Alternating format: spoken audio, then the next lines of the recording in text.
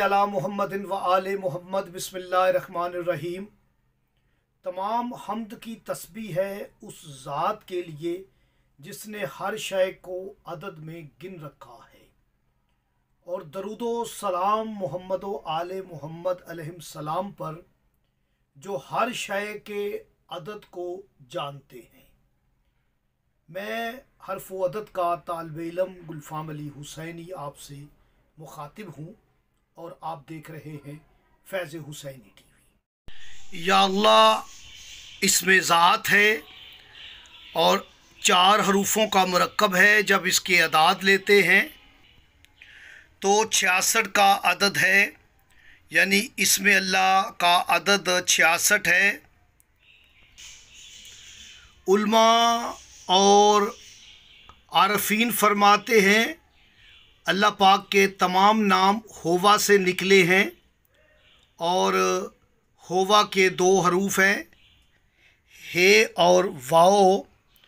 आज के वजीफ़े में हम आपको ऐसा एक राज बताएँगे कि आपकी दवाएँ कबूल हो जाएँ, आपकी हजात बर आएँ आपकी बीमारी शिफा में बदल जाए, बेरिज़क को रिज़क मिले ये इसमें आज़म है, होवा दो हरूफों का मरकब है, हे और वाओ।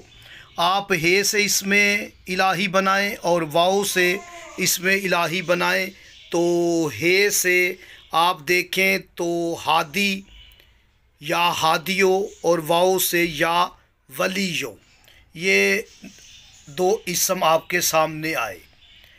आप इनकी अदाद ले लें हादी के अदद बीस होते हैं और वली के छियालीस होते हैं।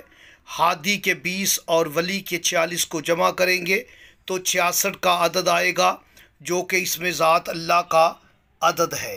यानी होवा में ही इसमें ज़ात छुपा हुआ है, जैसे कुल हुवल्ला वाहद, कहो कि आहद जो है अल्लाह है और अल्लाह होवा है।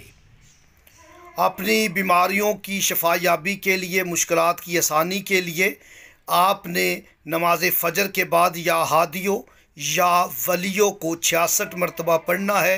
ये आपने बारह दिन अमल जारी रखना है या बारह हफ़्ते। बड़ी से बड़ी हाजत आपकी इन पूरी होगी।